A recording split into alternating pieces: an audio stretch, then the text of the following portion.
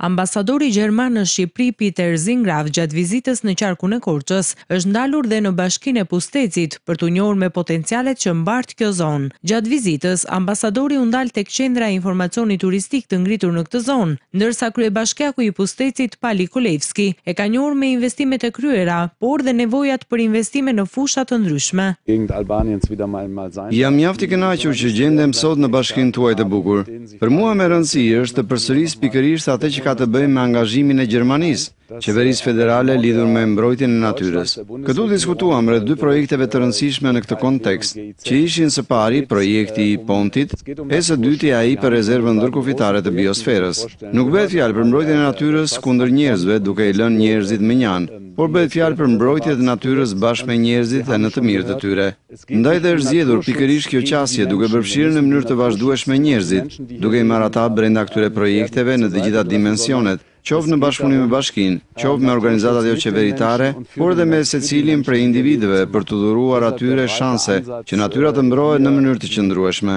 Projekte të tilla mund të jenë të suksesshme jo vetëm duke parë angazhimin e një vendi sikurse është Shqipëria në këtë rast, Por kjo zonë mund të mbrohet ashtu siç duhet përmes bashkëpunimit dhe ndërhyrjes së tre shteteve kufitare, dhe ky është një element që reflektohet në mënyrë të vazhdueshme në projekte.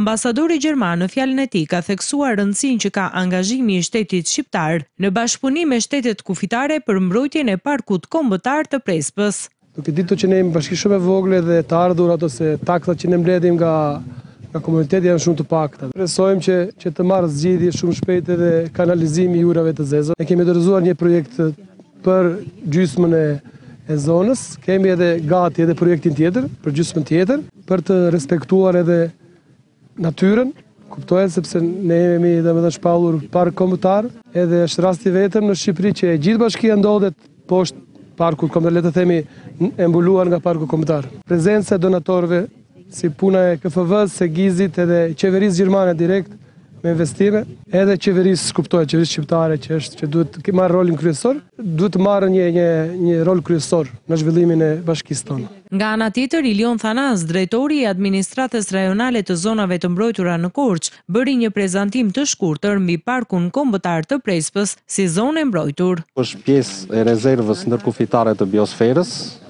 dhe pjesë e Rrjetit Ramsar. Siç e shikoni, ka disa ekosisteme, duke filluar që nga ekosistemi ujor që janë dy liqenet, dhe deri tek kullotat alpine që është Mali i Thatë me lartësin 2288 metra. Në punën tonë të përditshme kemi shumë bashkëpunëtorë, ku më kryesori është projekti gjerman, Rezerva Kufitare e Biosferës, me të cilën kemi bashkëpunim Shumë të mirë, bashkëpunojmë pothuajse çdo ditë. Gjithashtu kemi dhe mbështetjen e Pontit, i cili ka bërë edhe ai disa projekte dhe kryesisht në edukimin mjedisor që ne kemi.